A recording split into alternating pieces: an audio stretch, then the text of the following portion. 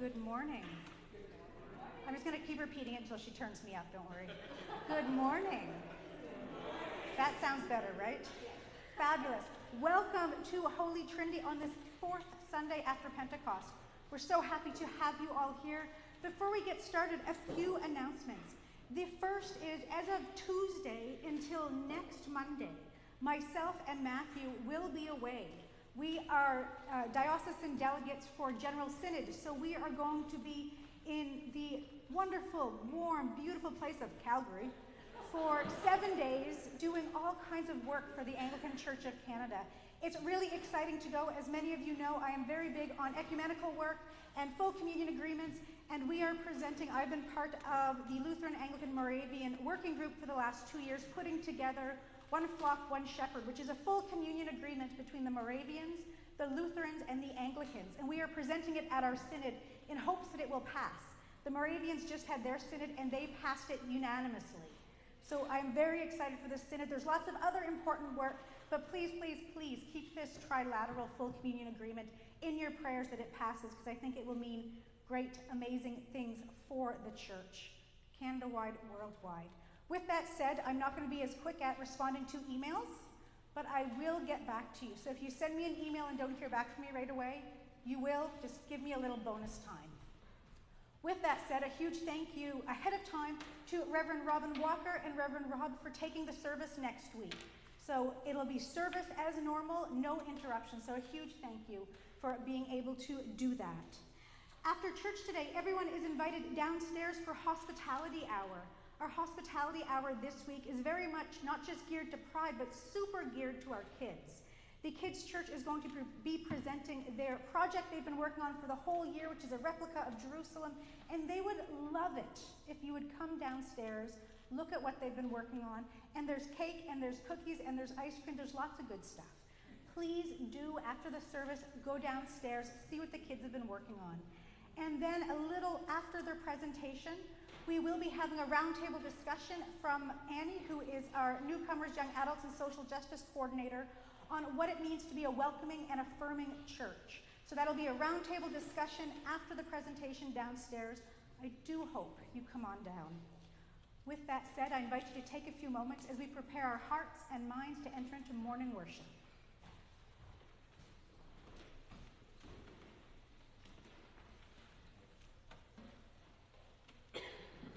I invite the congregation to please stand as able as we sing our opening hymn number 585, Lord, whose love in humble service.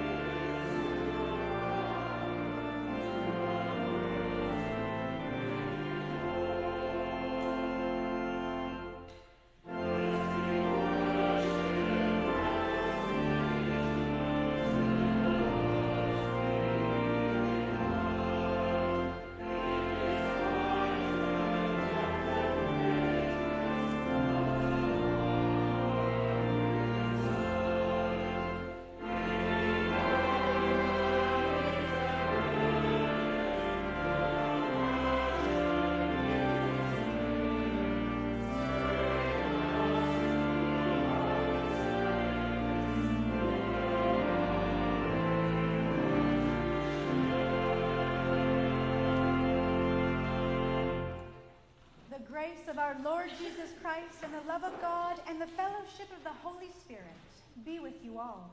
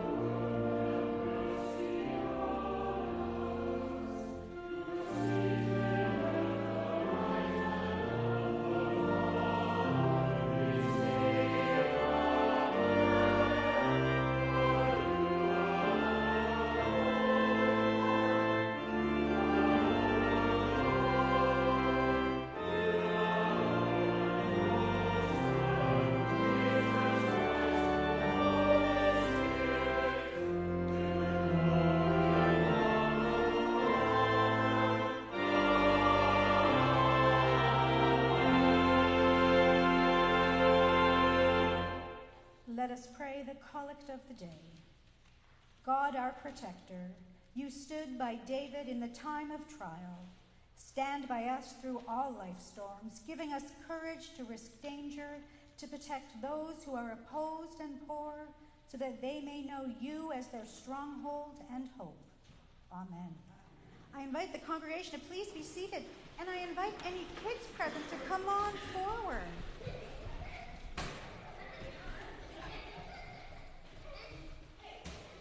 Good morning. How's everyone doing today? What's today?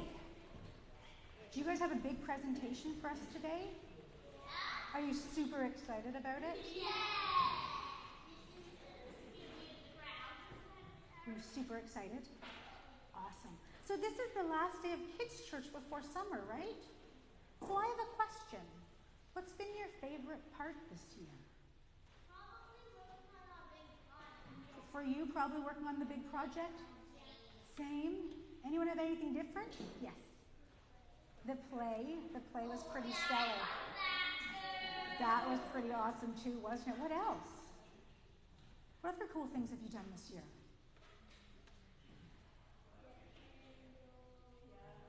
Advent candles and decorating trees, absolutely. So have you had lots of fun? Are your teachers pretty spectacular? Do you think maybe we should do a big thank you to Heather and Andrew and Sharon and Nicholas and Anne for helping? Think we should give them a big thank you? What do you think, big kids in the congregation? Should we give a big round of applause?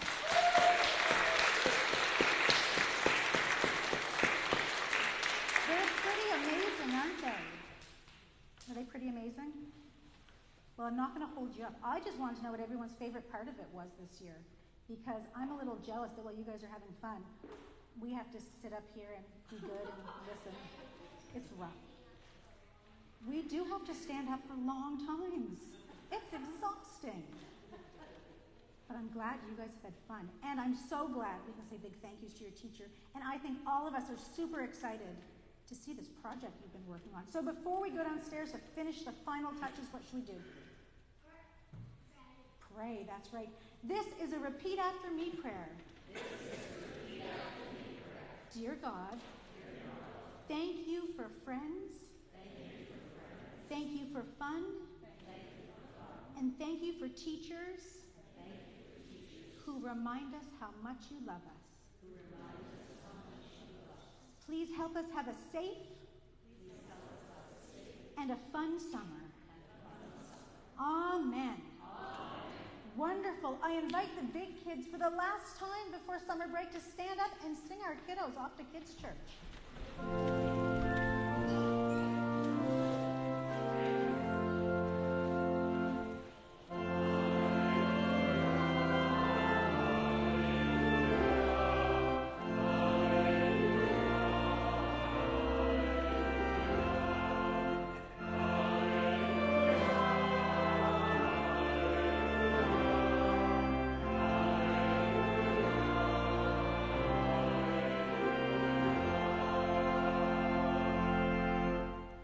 Invite the congregation to be seated as we listen to what the Spirit is saying to the church.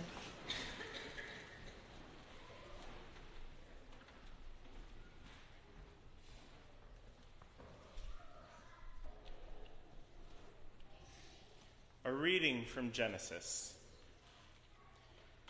The child grew and was weaned, and Abraham made a great feast on the day that Isaac was weaned. But Sarah saw the son of Hagar the Egyptian, whom she had borne to Abraham, playing with her son Isaac. So she said to Abraham, Cast out this slave woman with her son, for the son of this slave woman shall not inherit along with my son Isaac. The matter was very distressing to Abraham on account of his son. But God said to Abraham, Do not be distressed because of the boy and because of your slave woman. Whatever Sarah says to you, do as she tells you, for it is through Isaac that offspring shall be named for you. As for the son of the slave woman, I will make a nation of him also, because he is your offspring. So Abraham rose early in the morning and took bread and a skin of water and gave it to Hagar, putting it on her shoulder along with the child, and sent her away. And she departed and wandered about in the wilderness of Beersheba. When the water in the skin was gone, she cast the child under one of the bushes. Then she went and sat down opposite him a good way off, about the distance of a bow shot. For she said, Do not let me look on the death of the child. And as she sat opposite him, she lifted up her voice and wept. And God heard the voice of the boy, and the angel of God called to Hagar from heaven and said to her, What troubles you, Hagar? Do not be afraid, for God has heard the voice of the boy where he is. Come, lift up the boy and hold him fast with your hand, for I will make a great nation of him. Then God opened her eyes, and she saw a well of water. She went and filled the skin with water and gave the boy a drink. God was with the boy, and he grew up. He lived in the wilderness and became an expert with the bow. He lived in the wilderness of Paran, and his mother got a wife for him from the land of Egypt. The word of the Lord.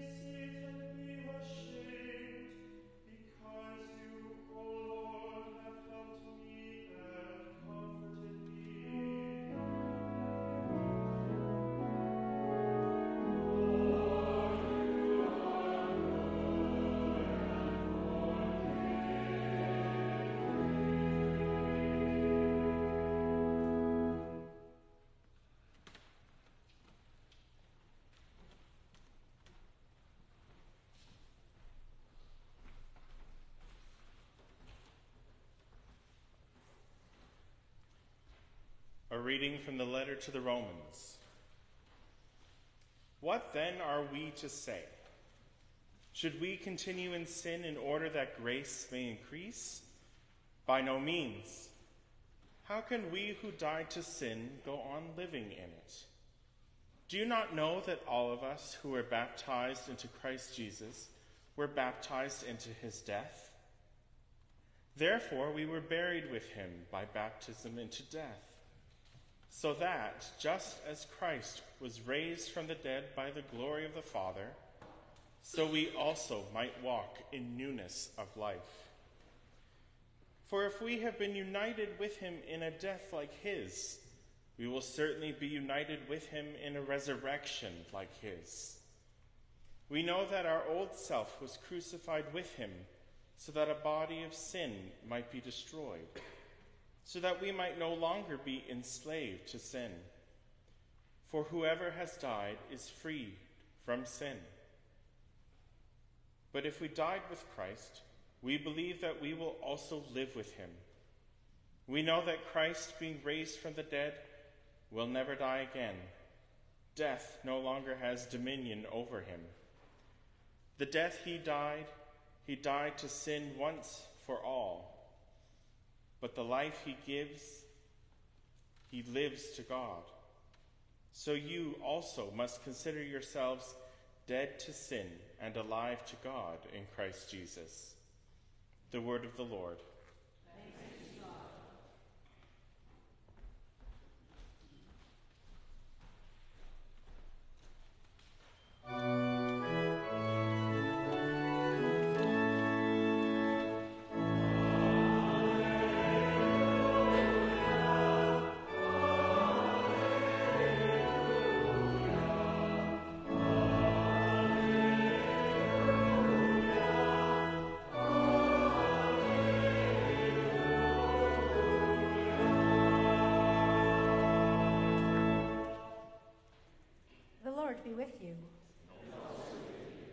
Gospel of our Lord Jesus Christ according to Matthew. Jesus said to the twelve apostles, A disciple is not above the teacher, nor a slave above the master. It is enough for the disciple to be like the teacher, and the slave like the master. If they have called the master of the house Beelzebul, how much more will they malign those of his household? So have no fear of them, for nothing is covered up that will not be uncovered, and nothing secret that will not become known. What I say to you in the dark, tell it in the light. And what you hear whispered, proclaim from the housetops. Do not fear those who kill the body but cannot kill the soul. Rather, fear him who can destroy both soul and body in hell. Are not two sparrows sold for a penny? Yet not one of them will fall to the ground apart from your Father. And even the hairs of your head are all counted. So do not be afraid. You are of more value than many sparrows. Everyone, therefore, who acknowledges me before others, I also will acknowledge before my Creator in heaven. But whoever denies me before others, I also will deny before my Creator in heaven. Do not think that I have come to bring peace to the earth. I have not come to bring peace, but a sword. For I have come to set a man against his father, and a daughter against her mother, and a daughter in law against her mother in law, and one's foes will be members of one's own household. Whoever loves father or mother more than me is not worthy of me, and whoever loves son or daughter more than me is not worthy of me. And whoever does not take up the cross and follow me is not worthy of me. Those who find their life will lose it, and those who lose their life for my sake will find it. This is the gospel of Christ. Praise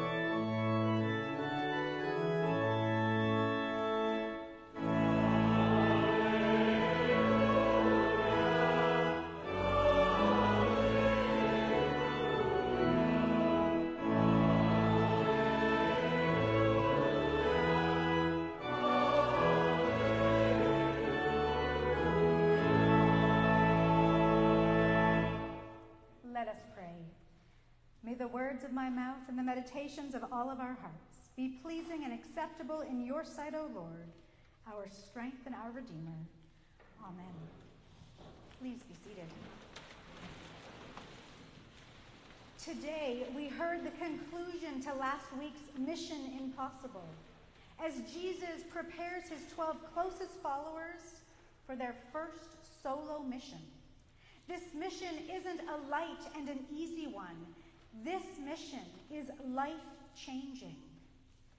These 12 newly minted apostles are sent to show what God's kingdom looks like, interrupting life as they know it with new possibilities for healing, for wholeness, for truth telling and repaired relationships.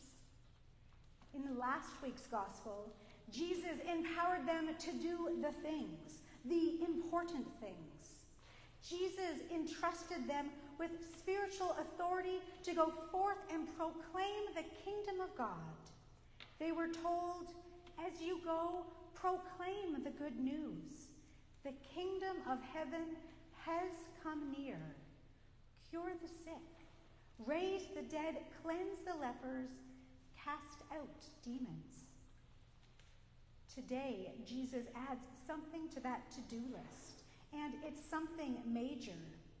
Jesus, on the cusp of sending his 12 inexperienced disciples out into the world, pauses to arm them with a final spiritual gift the ability to persevere in the face of resistance. Jesus doesn't sugarcoat the dangers of this mission, he gives it to them straight. Some folks will welcome the good news, others won't. They'll resist the message and the change that comes with it, and you'll be the target of their resistance. Then Jesus reminds them that our heavenly Creator is both incredibly powerful, pronouncing judgments that yield life or death and incredibly tender, noticing every sparrow that falls and counting every hair on our heads. Jesus reminds the 12 of who they truly are children of God. Jesus teaches them what they're capable of, healing others and reconciling communities. And Jesus shows them how to hold onto that truth even when the going gets tough, by remembering God's character, God's faithfulness, and God's goodness.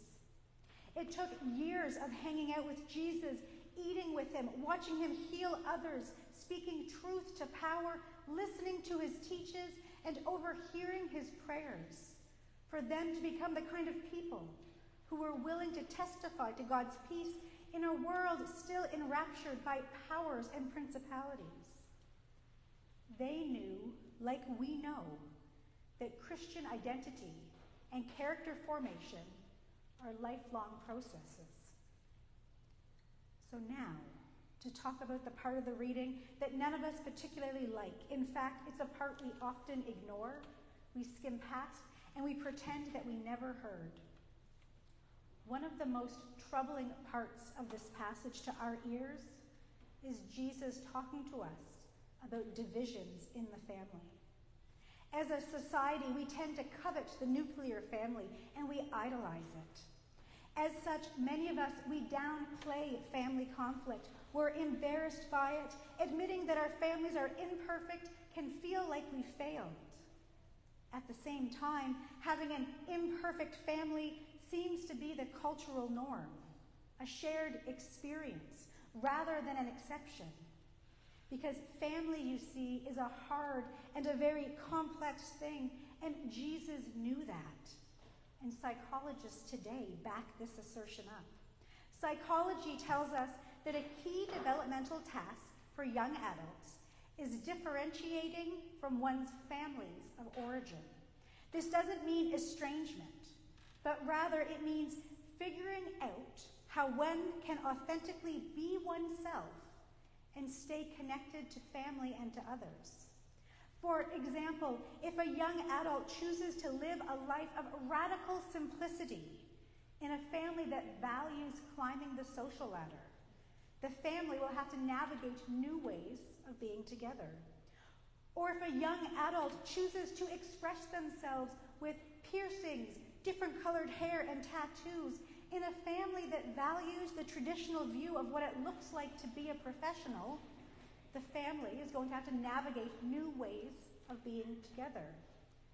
And even more pressing, especially since it's Pride Month, when a young adult or a young teenager or a senior, age really doesn't matter, feels safe enough to come out to their family, and that family is unaware or uneducated on our LGBTQ2SIA plus communities, that family is going to have to learn to navigate some new ways of being together. And the reality is, the reality that Jesus knew of, is that not every family has those navigational skills. Sometimes, literally and figuratively, it's beneficial or even necessary to be apart from one's family of origin. Sometimes, brother will hate brother, sister will hate sister. Family relationships will be strained, and hearts are going to ache. But belief in God, faith in Jesus, and trust in the Holy Spirit can bring peace beyond our human understanding. The truth is, the peace that Jesus brings can cause division. It can incite harassment and create resistance. The love of God and the fellowship of the Holy Spirit can lead to the death of some relationships. But just as Jesus equipped the first disciples long ago, he equips us with the power of the Holy Spirit to confront the ways of turbulent relationships and shows us how we can, through love, triumph over them. Jesus teaches us about love, about forgiveness, and about just how big and beautiful our family truly is. By hearing the scripture week by week, day by day, the Spirit equips us with knowledge of God's character, both the Almighty Maker of heaven and earth, and the merciful Lord who watches over the sparrow and counts each of the hairs on our heads. And when we just can't fathom or imagine how the almighty power and the gentleness of God can possibly work side by side, we remember stories like the one we heard from the book of Acts about Hagar and her son Ishmael. Hagar's story shows God's grace working in and through a very divided family. Sarah, Abraham's wife, and the woman to whom Hagar was enslaved into service to, is bound up by anxiety and by fear.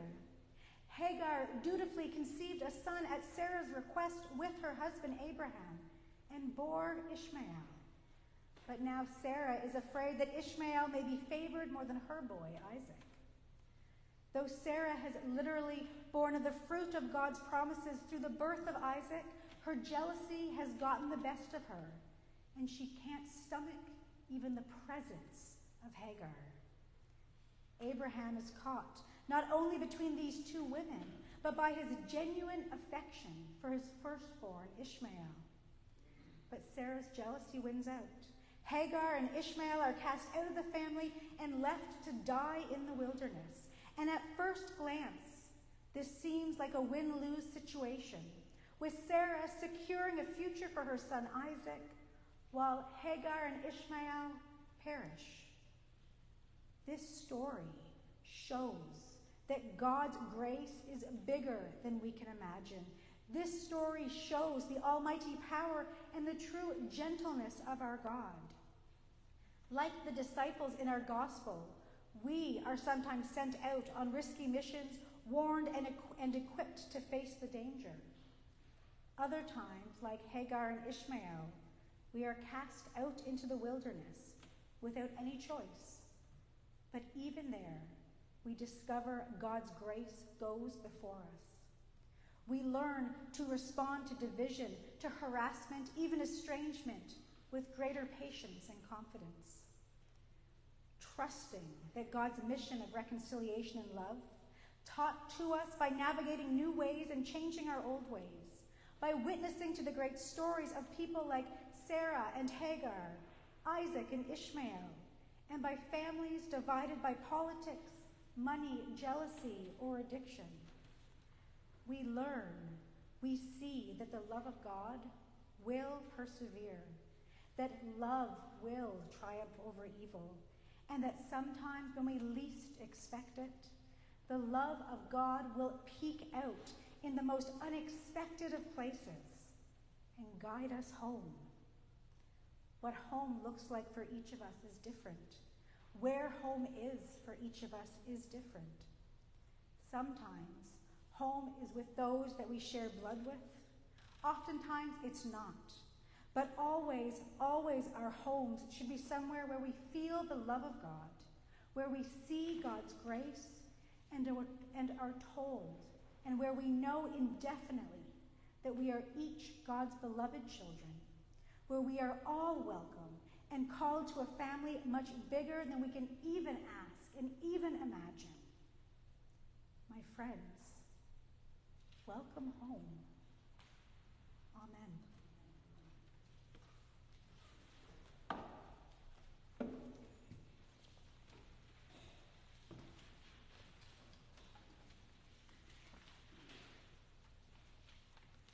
I invite the congregation to please stand as able as we confess the faith of our baptism in the words of the Apostles' Creed as we say, I believe in God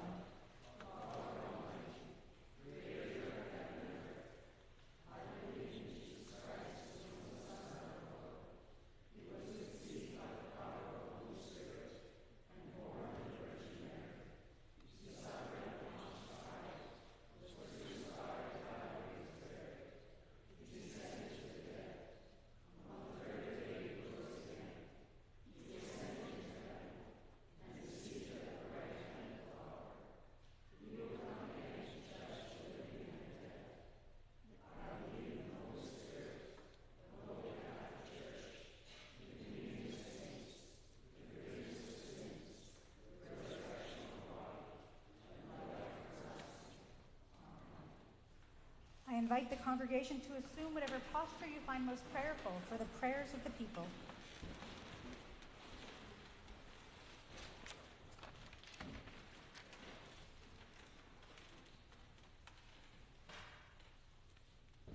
Friends, on this St. John's weekend, where the summer is arriving and the smoke has dissipated for a time, let us now pray for the church and the world around us, saying, Lord, in your mercy, hear our prayer.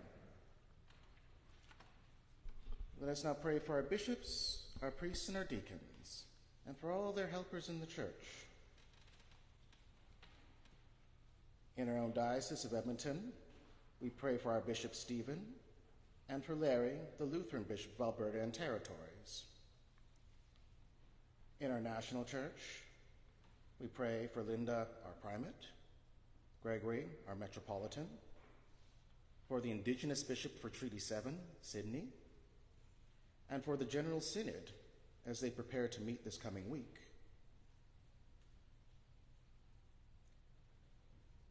That our churches may be filled with and proclaim the truth of Christ's holy and life giving resurrection to all. Lord, in your mercy. Let us now pray for all of God's people throughout the world, for this congregation, and for all the ministers and people who witness to your love. We pray for our brothers and sisters in God overseas, including for our sister diocese of Buye in Burundi and their parish of Kabataha And as Pride Week comes to a close, or sorry, Pride Month comes to a close, and as many Commonwealth countries remember the legacy of the Windrush generation, let's pray for all those who are either in the LGBTQ plus community, or in the black community, or in both.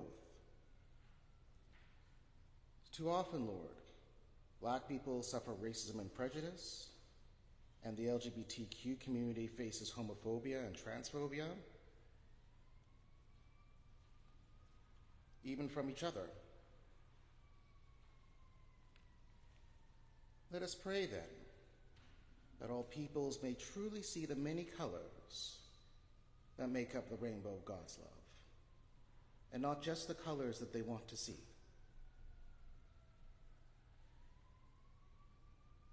That all communities throughout the world may find fresh strength in Christ's good news. Lord, in your mercy. Let us now pray for Charles, our King, and all the members of the Canadian royal family. Let us always give thanks to God for the many freedoms that we have here. So we pray for our new legislature as the members have now taken their oaths and they begin their work. We pray that our new government may govern with wisdom and with mercy, always mindful of God's many warnings in Scripture to those who fail to do so. And let us also pray and give thanks for the First Nations, remembering always whose land we have all entered and the treaties which govern that entry. And so today, we pray for the Ermineskin Cree Nation and for the various urban indigenous communities among us.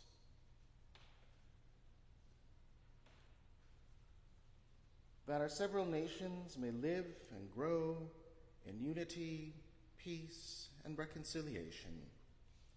Lord, in your mercy. Let us now pray for the poor, the sick, the hungry, the oppressed, those in trouble, those in prison, those who suffer for whatever reason, either aloud or in the quiet of our hearts. Praying especially for those who are on our parish's prayer list for Roger, for Ed, for Gertrude and Natalie, for Margaret Ann and her family, for Mildred, for Bill and his family, for Anne, Mickey, for Ron and Joan, for Ron, and for Joseph.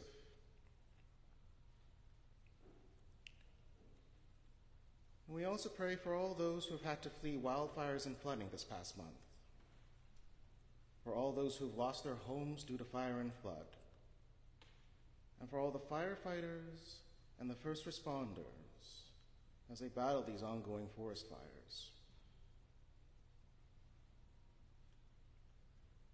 That all of us may see deliverance and hope, be it in prosperity, be it in times of trial. Lord, in your mercy. Mighty God, our merciful Father, we ask that you hear these our prayers that you make before you both our joy and our troubles. Graciously hear us so that all evils which have, put, have been put upon us by the craft of both the devil and man may come to nothing and may be dispersed by your goodness, and that we may evermore bear faithful witness to you. And we pray this for Jesus Christ's sake, our only mediator and advocate to whom with you and the Holy Ghost be all honor and glory, world without end.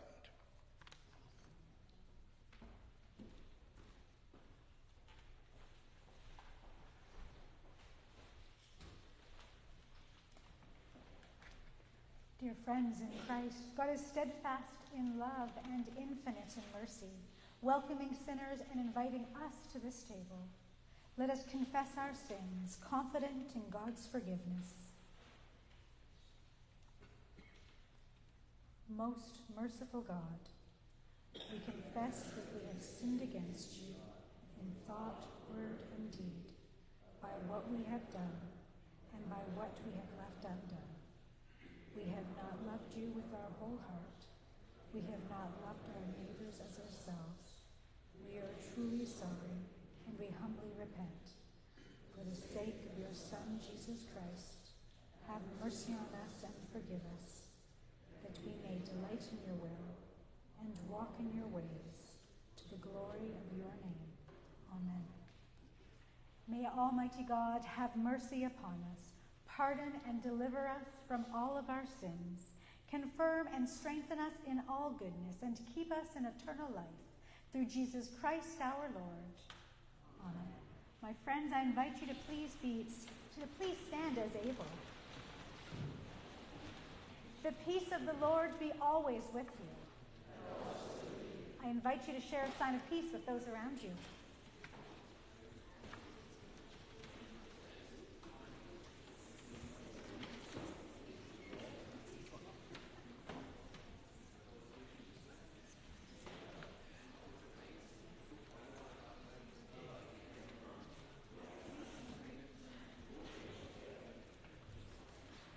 Invite the congregation to join in our offertory hymn, which, will you, which you will find on the back of your purple insert, called All the Colors of the Rainbow.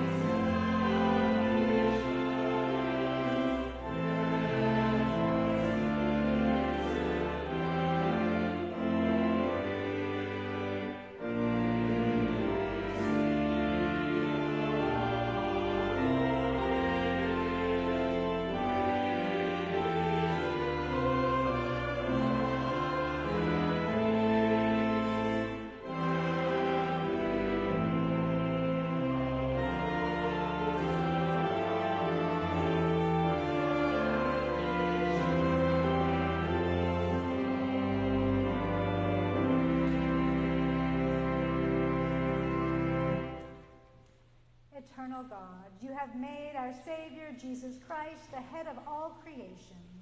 Receive all we offer you this day, and renew us in his risen life in the name of Jesus Christ the Lord. Amen.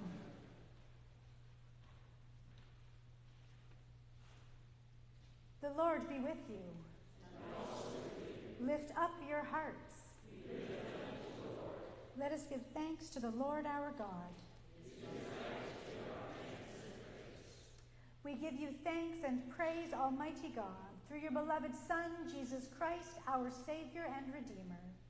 He is your living word, through whom you have created all things. By the power of the Holy Spirit, he took flesh of the Virgin Mary and shared our human nature. He lived and died as one of us to reconcile us to you, the God and Father of all. In fulfillment of your will, he stretched out his hands in suffering to bring release to those who place their hope in you.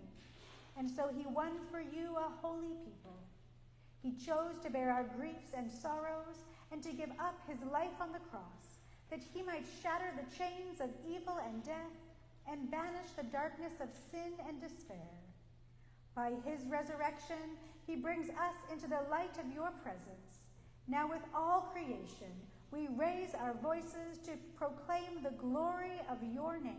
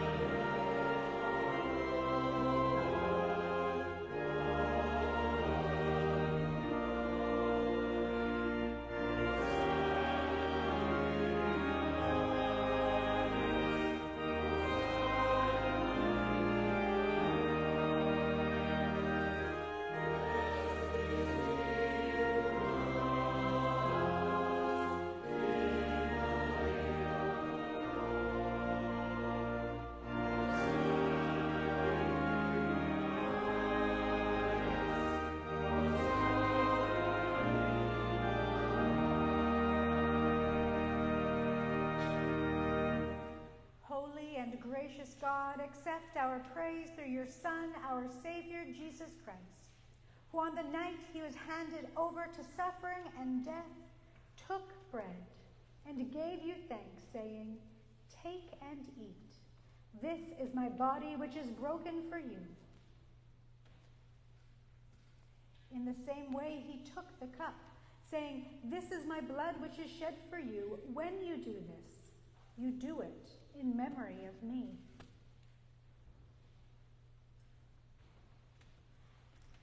Remembering, therefore, his death and resurrection, we offer you this bread and this cup, giving thanks that you have made us worthy to stand in your presence and serve you.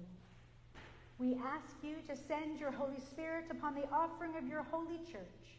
Gather into one all who share in these sacred mysteries, filling them with the Holy Spirit and confirming their faith in the truth, that together we may praise you and give you glory through your servant Jesus Christ. All honor and glory are yours, Father and Son, with the Holy Spirit, in the Holy Church, now and forever.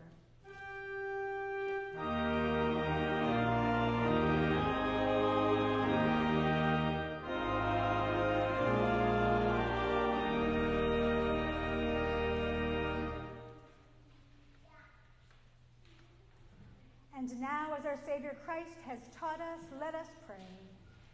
Our Father, who art in heaven, hallowed be thy name. Thy kingdom come, thy will be done on earth as it is in heaven. Give us this day our daily bread, and forgive us our trespasses, as we forgive those who trespass against us. And lead us not into temptation, but deliver us from evil. For thine is the kingdom, the power, and the glory, forever and ever. Amen. We break this bread to share in the body of Christ.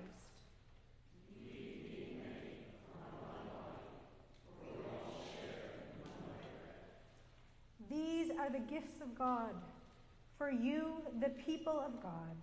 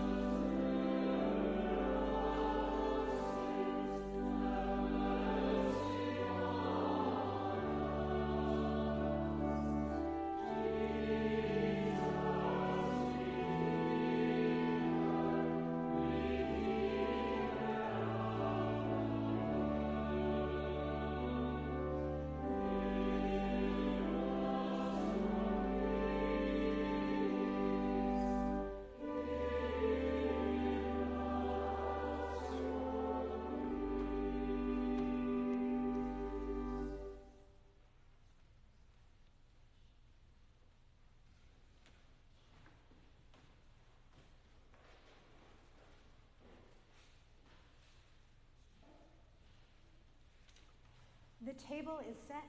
All are welcome. Our bread is gluten free for all to share in the one bread, one body.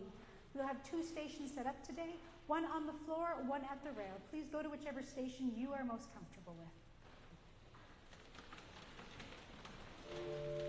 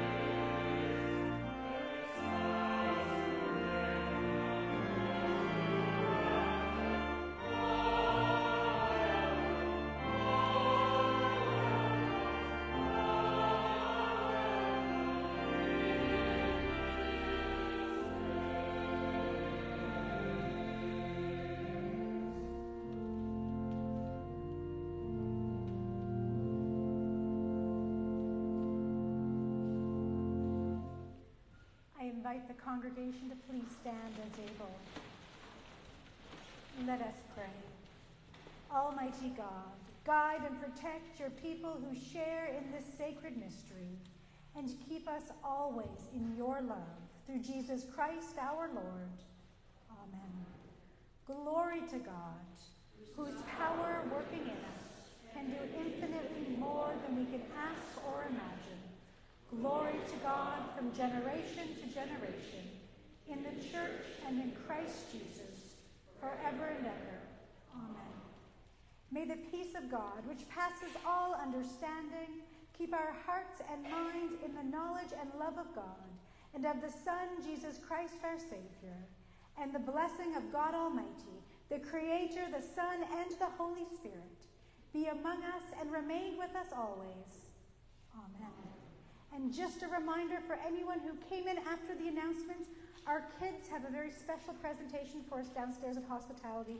So please do, if you're able to stay for a bit, come on downstairs and let the kids show you what they've been working on. With that said, our recessional hymn is number 505 Be Thou My Vision.